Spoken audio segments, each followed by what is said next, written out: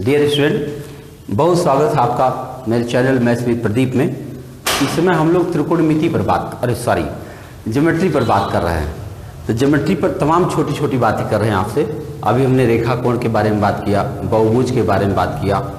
अब जो है ज्योमेट्री के अंदर जाने की कोशिश कर रहे हैं। अंदर जाएँगे तो सबसे पहले आपको त्रिभुज मिलेगा ट्रैंगल्स तो ट्रायंगल्स के अंदर बड़ी प्रॉपर्टी पाई जाती है। एक एक करके कुछ प्रॉपर्टी देखते हैं। त्रिभुज। मतलब आपके रेखा गणित का एक बड़ा हिस्सा त्रिभुज का है और ऐसे ही एक बड़ा हिस्सा सर्किल का है। यानी ये दो बड़े हिस्से अगर आपने कवर कर लिए तो समझ लो कि ज्योमेट्री का एक बड़ा बड़ा बा काम खत्म हो गया। सिक्सटी परसेंट कर खलब कवर हो गया। तो चलिए अब हम त्रिभुज के बारे में बात करते हैं कि त्रिभुज क्या होता है ट्रायंगल ट्रेंगल पर बात आती है तमाम बहुत छोटी छोटी बातें हम कहते जाएँगे। आप चाहे इसको लिखते चलें या महसूस करते जाएँ कि तीन रेखा खंडों से घिरी एक बंद आकृति, जानते हैं? तीन रेखा खंडों से घिरी एक बंद आकृति त्रिभुज कहलाती है।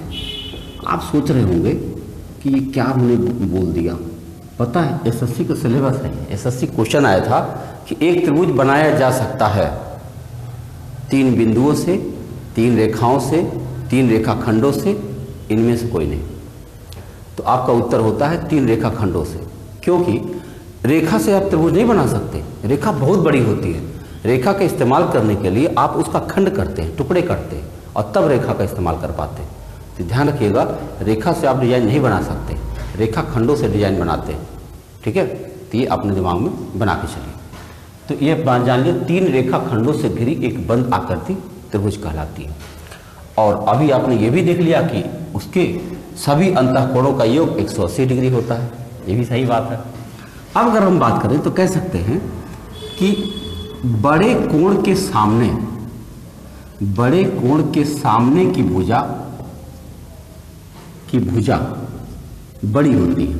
सोचिए और छोटे कोण के सामने की भुजा। छोटे कोण के सामने की भुजा छोटी होती है। दिख रहा कोई एक त्रिभुज बना लीजिए। देखो, मैंने बना लिया। तो देखो, ये सबसे बड़ा कोण ये है। तो इसके सामने की भुजा सबसे बड़ी हो गई। देखो, सबसे छोटा कोण ये है। इसके सामने की भुजा देखो छोटी है।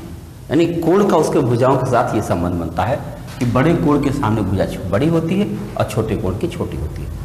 अब अगर हम पॉइंट करें तो कह सकते हैं कि किसी त्रिभुज का जो बहिष्कोण होता है, उसके सुदूर अंतः कोणों के योग के बराबर होता है। मतलब ये कहने की कोशिश कर रहे हैं कि अगर जैसे कोई त्रिभुज है, इसका ये बहिष्कोण है एक्सटीरियर एंगल कहते हैं एक्सटीरियर एंगल तो ये एक्सटीरियर एंगल इन दोनों कोणों के योग के बराबर होता है। मान लो इस कोण का नाम x है, इस कोण का नाम y है तो ये पड़ गया x प्लस वाई ठीक है? एकदम ध्यान में रखिएगा कि जो बहिष्कोण होता है, इसके सुदूर अंतः कोणों के योग के बराबर होता है। तो किसी त्रिभुज के बहुत छोटी छोटी बातें हैं। मेरे ख्याल से इसको छठवीं कक्षा से शुरू हुआ होगा तो ऐसे ही शुरू हुआ होगा। है ना? अब त्रिभुज, आप जानते हो, तीन बिंदु से, तीन बिंदु से मिलाते हुए तीन रेखाखंड जोड़ते हैं और त्रिभुज बन जाता है। त्रिभुज के अंदर जाते हैं तो आपको मिलता है कि त्रिभुज के केंद्र कितने होते हैं। आओ देखते हैं, त्रिभुज के केंद्र। आप बता सकते हो कि त्रिभुज के कितने केंद्र होते हैं? चार केंद्र होते हैं त्रिभुज के, चार। कौन कौन से होते हैं? आइए देखते हैं। सबसे पहले आपको मिलेगा अंत केंद्र अंतः केंद्र जो होता है, इसको अंग्रेज़ी में कहते हैं इन सेंटर। ये क्या होता है? अब इसमें आप ज़रूर लिख लीजिए, क्योंकि ये बहुत बड़ी प्रॉपर्टी है। ध्यान में रखेंगे, क्योंकि जब कठिन सवाल बनाए जाएँगे तो ये कुछ कहेगा नहीं, खाली कह देगा, इस त्रिभुज का अंत केंद्रीय है, और परिकेंद्रीय है, इनके बीच में ये रेखा खींची गई।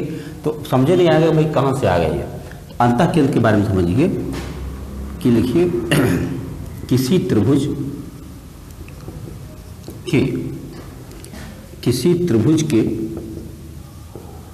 कोण समद्विभाजक कोण समद्विभाजक जिस बिंदु पर मिलते हैं, जिस बिंदु पर मिलते हैं, कोण समद्विभाजक जिस बिंदु पर मिलते हैं, उसे हम अंत केंद्र कहते हैं। मैं एक बना के दिखाऊँ आपको। हिंदी लिखने से अच्छा होगा कि आप उसको देख लीजिए डिज़ाइन में, कि देखो ये कोण समद्विभाजक मुझको करना है तो ऐसे तो होता है। इस कोण का समविभाजक करेंगे तो कैसे बनाएँगे? ऐसे बनाएँगे। और इस कोण का समविभाजक करेंगे तो ऐसे बनाएँगे। तो देख रहे हैं आप, इस बिंदु पर तीनों कोण का समविभाजक मिल रहा है।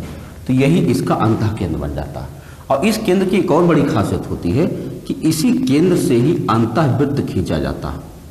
अगर आपसे पूछा जाए कि बताइए अंत केंद्र खींचना है आपको अंतर्वृत्त खींचना है। तो क्या करें? तो आप बताओगे कि पहले उसका अंत केंद्र ढूंढिए और अंत केंद्र से, उस केंद्र से जब आप सर्किल बनाओगे, तब अंत केंद्र बन पाएगा। ठीक है? ये अंत केंद्र तो देखिए, अगला केंद्र है परिकेंद्र। ये परिकेंद्र क्या होता है? इसको आप देखोगे सरकम सेंटर कहते हैं। सरकम सेंटर ये कहाँ होता है? एक त्रिभुज के भुजाओं के समद्विभाजक जिस बिंदु पर मिलते हैं भुजाओं के साइड बाइसेक्टर यानी साइड बाइसेक्टर जहाँ मिलेंगे, वहाँ पे बनेगा आपका ये परिकेंद्र। देखो साइड बाइसेक्टर कैसे करते हैं? आप जानते होंगे आधे से अधिक दूरी लेकर दोनों तरफ़ से चाप लगाएँगे तो एक रेखा ऐसे बनेगी। एक इधर से आएगी, एक इधर से आएगी। तो जहाँ पे काट रहा होता है, ये होता है सरकम सेंटर और सरकम सेंटर की खासियत ये होती है कि इससे परिवृत्त खींचा जाता परिवृत्त। ध्यान दीजिएगा इसके पहले वाला जो था, इन सेंटर था उससे अंत के वृत्त खींचा जाता था इससे परिवृत्त खींचा जाता। इस पर आधारित कई सारे सवाल बन चुके हैं। इनकी पोजीशन आप एकदम ढंग से देख लीजिए, बहुत मज़ेदार होगा। एक और बात, अगर समकोण त्रिभुज है तो समकोण त्रिभुज का परिकेंद्र उसके कर्ण के मध्य बिंदु पर होता है। अगर आप ध्यान से देखिए इसको, एक मैंने समकोण त्रिभुज बनाया। अगर पूछा जाए कि इसका जो है कि परिकेंद्र कहाँ मिलेगा? तो इसका जो मध्य बिंदु होगा, उसी पर मिलेगा। क्यों मिलेगा? अभी आपको सर्किल की एक और बात याद आएगी। मैंने एक सर्किल बना दिया। क्या आपको एक लाइन याद है कि किसी वृत्त तो हालाँकि अच्छा नहीं बना है और बढ़िया बना दें? ये। तो आप जानते होंगे, किसी अर्धवृत्त में बना हुआ त्रिभुज समकोण त्रिभुज होता है। तो जब सर्किल बताएँगे तो उस पर हम चर्चा करेंगे।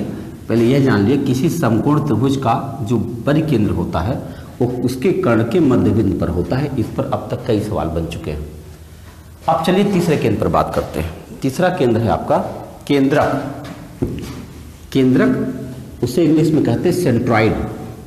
केंद्रक। देखिए, केंद्रक क्या होता है?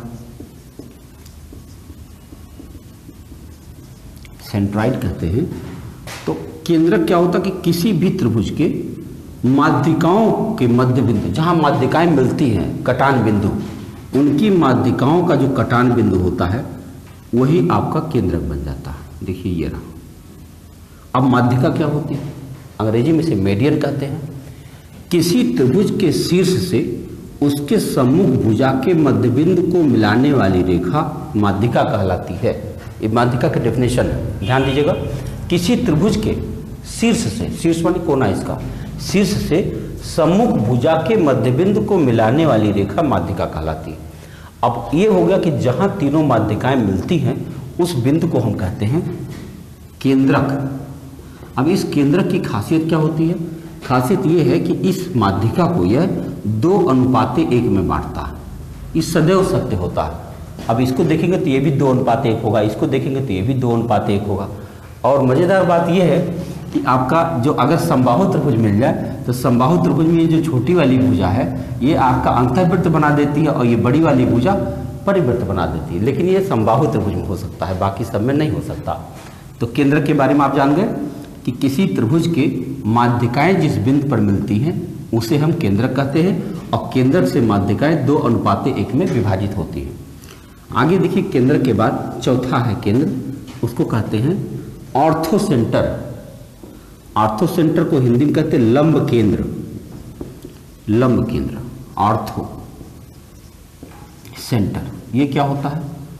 आर्थो सेंटर होता है किसी त्रिभुज के शीर्ष से सम्मुख भुजा पर डाले गए लंब। ध्यान दीजिएगा।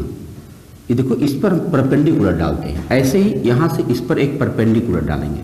ऐसे ही यहाँ से एक परपेंडिकुलर डालते हैं। यानी सम्मुख शीर्ष से शीर्ष से, किसी त्रिभुज के शीर्ष से सम्मुख भुजा के पर डाले गए लंब जिस बिंदु पर मिलते हैं, उसे हम परिकेंद्र कहते हैं। अभी एक एसएससी में क्वेश्चन बना था, जिसमें यह पूछा गया था कि समकोण त्रिभुज का लंब केंद्र कहाँ स्थित होता है। किसी समकोण त्रिभुज का लंब केंद्र कहाँ स्थित होता है? तो आप पाओगे समकोण त्रिभुज का लंब केंद्र उनकी समकोण बनाने वाली भुजाओं के मूल बिंदु पर स्थित होता है। देखो, यहाँ से इस पर करें तो यहाँ नब्बे बन गया, यहाँ से आए तो यहाँ नब्बे बन गया। अगर यहाँ से डालते तो यहाँ भी नब्बे डिग्री बन जाता। तो ये आपका बन जाएगा लंब केंद्र। यानी कुल इस तरह से आपने देखा कि चार केंद्र होते हैं, इन चार केंद्रों के माध्यम से हम ट्रायंगल के अंदर प्रवेश कर रहे हैं एक एक करके छोटी छोटी बात करते हुए। अब त्रिभुज में अंदर जाएँगे तो एक और बड़ी बात मिलेगी आपको। उसका नाम मिलेगा सर्वांग समता। एक छोटा सा हेडिंग है। उसको कहते हैं सर्वांग समता। सर्वांग समता। कॉन्गुरेंसी कहा जाता है इसको। कॉन्गुरेंसी दरअसल, आज का समय है गणित को व्यवहारिक बनाना बहुत ज़रूरी है, जिससे आम जनजीवन में गणित दिखाई पड़े। एक समय था, हम आपको सर्वांग समता के बारे में बात कर रहे हैं, कि इसमें क्या होता है कि दो त्रिभुज कम से कम किन स्थितियों में दोनों त्रिभुज को हम समान कर सकते हैं? सर्वांग सम क्या होता है? पहले ये जान लीजिए। सर्व अंग सम यानी अगर एक डिज़ाइन पर दूसरी डिज़ाइन रख दिया जाए तो दिखाई ना पड़े। जैसे मेरा ये हाथ है तो हथेली है तो पीछे वाली हथेली नहीं दिखाई पड़ेगी। तो समझो सर्वांग सम और फिर इधर से भी करना जाए तो उधर वाली हथेली न दिखना चाहिए। समान रेडियस के सर्किल सर्वांगसम होते हैं। समान साइड वाले जो है वो वर्ग जितने होते हैं, वो सब सब सर्वांगसम होते हैं। समान जो है भुजा वाले, संबाहु त्रिभुज एकदम सर्वांगसम होते हैं। तो सर्वांगसम अगर ये सब होते हैं तो हमको कम से कम क्या जानना चाहिए? यानी कम से कम कौन सी प्रॉपर्टी मिल जाए तो हम ये जान जाएँगे, दोनों त्रिभुज सर्वांगसम हो जाएँगे। एक प्राचीन कहानी हमको याद आ रही है। किसी देश के में किसी विद्वान ने ये कहा कि कोई नदी थी बड़ी सी, इतनी चौड़ी नदी और उसने ये दावा किया कि हम इस नदी की चौड़ाई बता देंगे। यानी कितनी चौड़ी नदी है ये। जबकि हम इस पर पानी में जाएँगे भी नहीं, उधर भी नहीं जाएँगे, नापेंगे नहीं, बिना नापे बता देंगे और एग्जैक्ट सही होगा। सोचो, जब इसने कहा होगा तो क्या हुआ होगा राज्य में? लोग एकदम हैरान हो गए ऐसे कैसे बता देंगे भाई? उसने कहा, उसको मैथमेटिक्स आती थी। उसने क्या किया? वहाँ के राजा ने भी कहा, चलो ठीक, हम भी देखते हैं। इतनी चौड़ी नदी की चौड़ाई उसे ज्ञात करनी थी वो नदी किनारे आया, ये ज़मीन है। इस ज़मीन पर सब लोग इकट्ठा हुए। उसने यहाँ खड़े होकर के नदी के इस छोर पर कोई लैंडमार्क तलाशा। लैंडमार्क क्या होता? कोई बड़ा सा पत्थर या कोई पेड़ या कोई मंदिर या कुछ और जो भी रहा हुआ यहाँ पर उसने तलाशा। और इसके ठीक सामने खड़ा हो गया यहाँ पर। ठीक सामने। उसी के ठीक सामने खड़ा हो गया। अब जो है, ज़मीन पर ये नाप करके पैदल चला यहाँ तक। मान लो सौ कदम पैदल चला। या सौ मीटर रहा होगा, उसके पास मीटर था कि नहीं था, सौ मीटर यहाँ चला। इसी ज़मीन पर पैदल चल रहा। अब 100 मीटर जब चला तो इसके ठीक बीचों बीच में 50 मीटर पर उसने एक लकड़ी बनाया, बाँस लगा दिया यहाँ पे। उसके बाद फिर ये नीचे जाना शुरू कर दिया, वापस ज़मीन पर। चित्र बन रहा है। अभी आप देखिए, सर्वांगसम किसे कहते हैं। इसको और बीच में करते हैं। अब क्या हुआ? तक कहाँ तक नीचे जाएगा? देखता जाएगा कि तिरछी जो रहे ये बाँस और ये बाँस जब एक सीध रेखा में आ जाएँगे, वहीं पर वो रुक जाएगा। मैं बनाने का प्रयास कर रहा हूँ। ये रहा। यहीं पर जाके वो रुक गया। अच्छा बताओ विद्यार्थी, इस समय जरा चित्र देखो ध्यान से। क्या आपके सामने दो त्रिभुज दिख रहे आप जानते हैं कि 90 डिग्री ये है? आप जानते हैं कि पूरा 100 मीटर था, अब 50 पर निशान लगाया है। इसका मतलब ये साइड ये साइड बराबर है। आप ये जानते हैं कि ये दोनों कोण शीर्षाभिमुख कोण होंगे। शीर्षाभिमुख कोण हमेशा बराबर होते हैं। तो आप बताओ, इतनी सारी प्रॉपर्टी मिलने के बाद क्या हम इन दोनों त्रिभुजों को सर्वांगसम कह सकते हैं? और अगर सर्वांगसम कह सकते हैं तो यह साइड और यह साइड बराबर क्यों नहीं होगा? तो जो नदी की चौड़ाई है, वो यहाँ ज़मीन पर उसने नाप करके तय कर दिया यही नदी की चौड़ाई है और पाया गया तो सत्य पाया गया। ये है सर्वांगसम की पहचान। यानी इसका व्यवहारिक नॉलेज व्यवहारिक ज्ञान। ऐसे क्या होता है कि हम लोग किताबों में पढ़ लेते हैं, मैंने उसको कापियों में पढ़ लिया, कोर्स पूरा कर दिया, लेकिन ऐसा नहीं है, गणित एक प्रकार का जीवन है। तो इसको अगर हम व्यवहारिक जीवन में उतारें तो हमें रटने की ज़रूरत ख़त्म हो जाए और वह चीज़ हमेशा हमारे साथ रहे। एनालिसिस पावर आपका बढ़ता चला जाएगा। आइए देखते हैं सर्वांग क्षमता क्या है। कुल चार नियम बनाए गए हैं। एक नियम है एस एस एस उसको कहते भुजा भुजा भुजा। हमने भू भू भू लिख दिया इसका मतलब क्या हुआ? अब मैं लिखता नहीं हूँ, ऐसे बोल देता हूँ, समझ जाओ। अगर दो त्रिभुज बना दिए जाए आपके पास, और लिखा जाएगा इसे किसी त्रिभुज की तीनों भुजाएँ किसी अन्य त्रिभुज की तीनों संगत भुजाओं के बराबर हो। जिस संगत क्या होता है? जैसे ये भुजा इसके बराबर हो, ये भुजा इसके बराबर हो और ये भुजा इसके बराबर हो।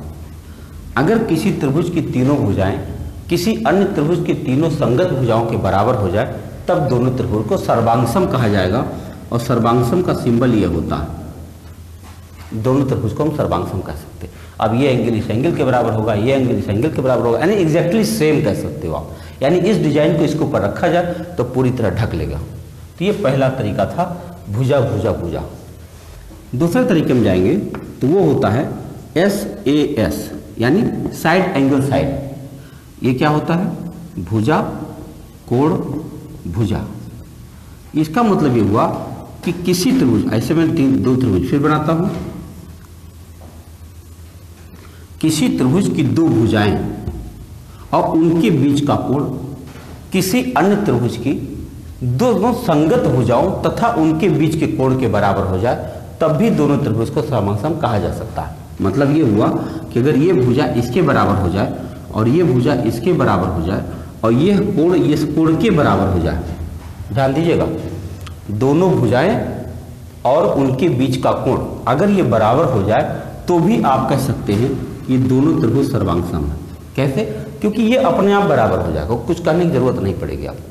कि अगर किसी त्रिभुज की दो भुजाएँ तथा उनके बीच का कोण किसी अन्य त्रिभुज की दो संगत भुजाओं तथा उनके बीच के कोण के बराबर हो जाए, तभी दोनों त्रिभुज को सर्वांगसम कहा जा सकता है। तीसरा तरीका जो आपका होगा, वो है A S A angle side angle यानी कोण, भुजा, कोण। इसका मतलब हुआ कि अगर किसी त्रिभुज के दो कोण तथा उनके बीच की भुजा, देखिए, हम डायग्राम बना रहे हैं, देख लीजिए। अगर किसी त्रिभुज की दो कोण मतलब ये कोण इसके बराबर हो जाए, ये कोण इसके बराबर हो जाए, और ये भुजा इसके बराबर हो जाए। यानी किसी त्रिभुज के दो कोण तथा उसके बीच की भुजा, किसी अन्य त्रिभुज के दो कोण तथा उसके बीच की भुजा के बराबर हो जाए तब भी दोनों त्रिभुज को सर्वांगसम कहा जा सकता है। ये रहा तीसरा नियम। और चौथा नियम जो है, वो है R H S. R H S आप देखोगे तो इसको आप कहोगे कि राइट हैंड साइड लेकिन राइट हैंड साइड नहीं है। इसका नाम है right angled hypotenuse side right angled hypotenuse side ये दरअसल समकोण त्रिभुज पर बनाया गया आइए देखते हैं, इसका क्या नियम है कि अगर कोई समकोण त्रिभुज है राइट एंगल साइड है। तो अगर किसी समकोण त्रिभुज का कर्ण तथा उसके समकोण बनाने वाली कोई भुजा, किसी समकोण त्रिभुज का कर्ण तथा उसकी समकोण बनाने वाली कोई भुजा, किसी अन्य समकोण त्रिभुज के कर्ण तथा समकोण बनाने वाली संगत भुजा के बराबर हो जाए। ध्यान दीजिएगा, शब्द सुनिएगा। किसी समकोण त्रिभुज का कर्ण तथा समकोण बनाने वाली कोई भुजा, किसी अन्य त्रिभुज के किसी अन्य समकोण त्रिभुज जानिएगा समकोण का समकोण बहुत ज़रूरी है, किसी अन्य समकोण त्रिभुज के कर्ण तथा समकोण बनाने वाली संगत भुजा के बराबर हो जाए तब भी दोनों त्रिभुज को सर्वांगसम कहा जा सकता है। इसको आप थोड़ा देर देखेंगे तो आपको लगेगा कि इसमें कौन सी बात है? तो साइड साइड साइड जैसी बात हो गई। अच्छा बताइए, अगर मान लो ये तेरह है और ये बारह है तो ये भी तेरह है, ये भी बारह है। अब तो पाइथागोरस से पूछोगे तो वो भी इसको पाँच बता देंगे। तेरह स्क्वायर एक सौ उनहत्तर, बारह स्क्वायर एक सौ चौवालीस।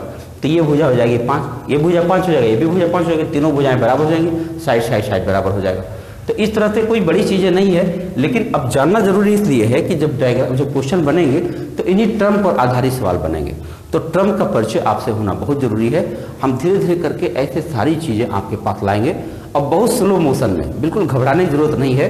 मान लीजिए कि हम बेसिक काम कर रहे हैं। एक समझ लो कि कोई जो है, बना हुआ है घर, और उसमें ईंटे पर प्लास्टर कर रहे हैं धीरे धीरे धीरे धीरे। अभी इस पर बहुत घिसाई होनी बाकी है, पुट्टी लगना बाकी है, प्राइमर होना बाकी है, पेंट होना बाकी तब चमक आएगी। तो मैं प्रयास कर रहा हूँ एक तरफ़ से। आप लोग बिना धैर्य खोए हुए एक एक वीडियो को ढंग से देख लीजिए, शेयर कीजिए, सब्सक्राइब करिए, मस्त रहिए। मिलते हैं।